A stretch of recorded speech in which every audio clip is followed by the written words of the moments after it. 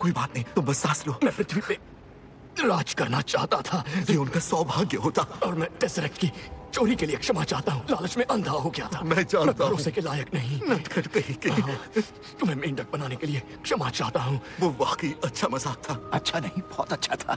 तुम एस्गार्ड के रक्षक हो। मेरी कहानी सबको सुना सुना और मेरी एक मूर्ति बनाना। हाँ बहुत बड़ी मूर्ति बनाएँगे। मेरा शीश कवच हो घुमावदार सिंह के साथ।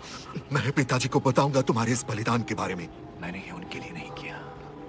मैंने ये उनके लिए नहीं किया भाई।